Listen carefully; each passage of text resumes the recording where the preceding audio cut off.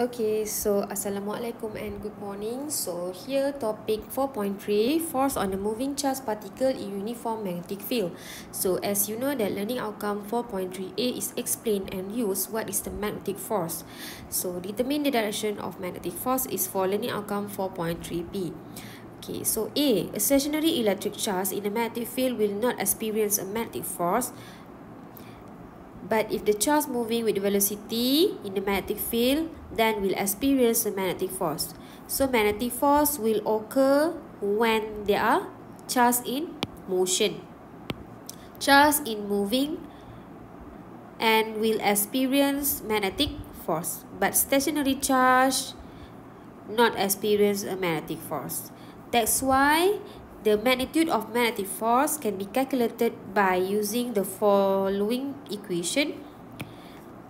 F is equal to QVB sine theta. Okay, because the charge have the motion V, velocity, so they will experience a force. Okay, so F is magnetic force, B is magnetic flux density, V is velocity of charge, Q is magnitude of charge and theta is angle between V and vector B.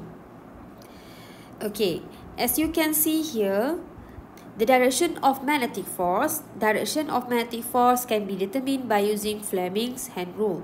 So, this is Fleming left hand rule is rule for positive charge and here is Fleming right hand rule and you can use for negative charge. So all your finger will be 90 degree to each other. So the thumb is direction of the force. First finger is magnetic field B and second finger is direction of the moving charge V.